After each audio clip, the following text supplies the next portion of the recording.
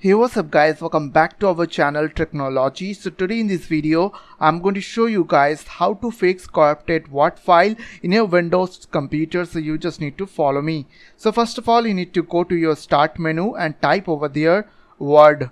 And after that open the Microsoft Word on your computer.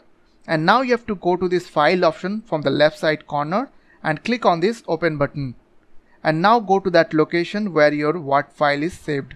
So in this case under documents my file is resume 2019. So select that file just left click over there and from here you have to select open and repair and after that your file will be open properly.